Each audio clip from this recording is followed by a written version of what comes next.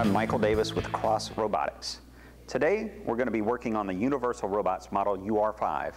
I'm going to be doing a joint replacement, and for today, we've selected joint 5, which is wrist 3.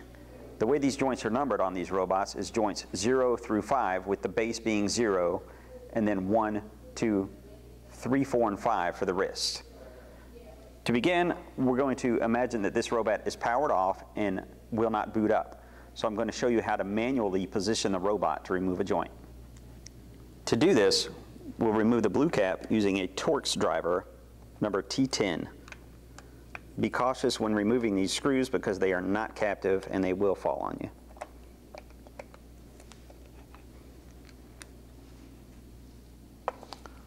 On each joint, there is a manual brake release. You press it, and then you can manipulate the joint that you need to get position.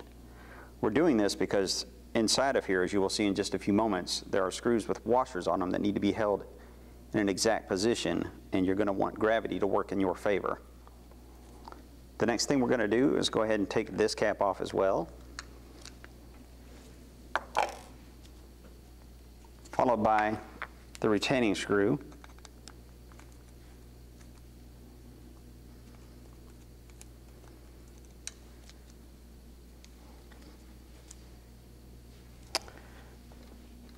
The next step is to peel off this gasket using a flat tip screwdriver. You're going to work your way around it. There's a Teflon ring that you pull down on to gain access to the screws that you need to loosen in order to remove the joint. To remove these screws, there should be eight of them. There are four on each side, split right down the middle of the joint. You will use a five and a half millimeter wrench. Now that we've loosened all eight screws, we are going to attach our ESD wristband to the metal clip here to prevent any electrostatic discharge while disconnecting the con electrical connections. We're going to remove the connection coming from this prior joint, which is for your power and your communication. Now, as you'll notice, each of these are in the same sequence where you've got white and black and then white and black. You'll need to pay attention to that when you're reinstalling. The same is true with this power connection. You've got black, red, and then black, red. That makes it easier during installation. So you'll just grab on the, the tab to pull those loose, and the same with the power connection.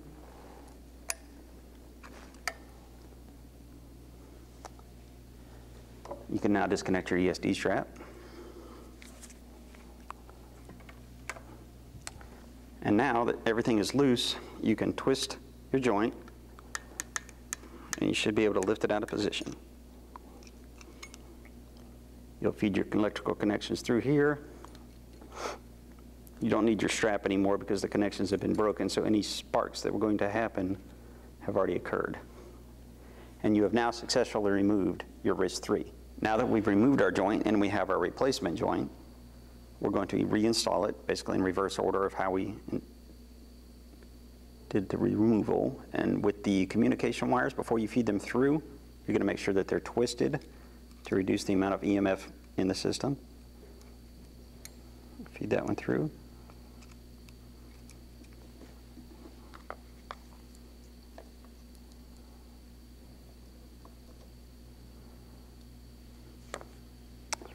Followed by the power wires.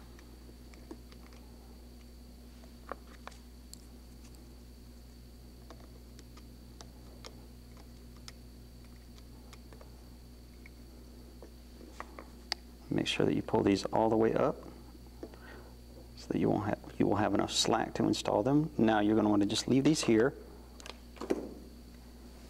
and you'll set these screws down into the keyed holes. Make sure that it is flush and level. Again, checking that you have enough of the, of the wires out, and you're going to twist that into position. We are now going to reinstall the electrical connections so since we're making an electrical connection, we're going to reconnect our electrostatic dissipative wristband. We're going to go ahead and connect the power connection first, again paying attention to the orientation of the black and the red.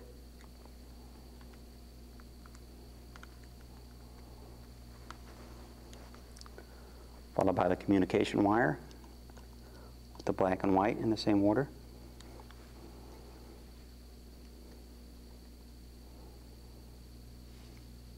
We can remove our ESD wristband now. And then, with our five and a half millimeter wrench, we will begin tightening down each of the screws all the way around. Now that we've got all of our eight screws tightened down, we're going to torque them in a star or cross pattern using a five and a half millimeter torque wrench that is preset for 1.3 newton meters. This is a braking torque wrench, which basically means it will click whenever you get to the point. Now what we'll do is we'll lift the Teflon ring back into place and replace the gasket.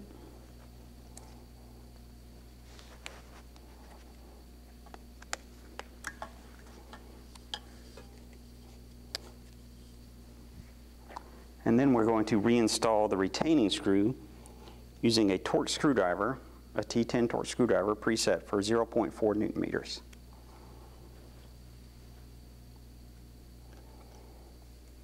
This is the same tool we will use to tighten the blue caps on each joint.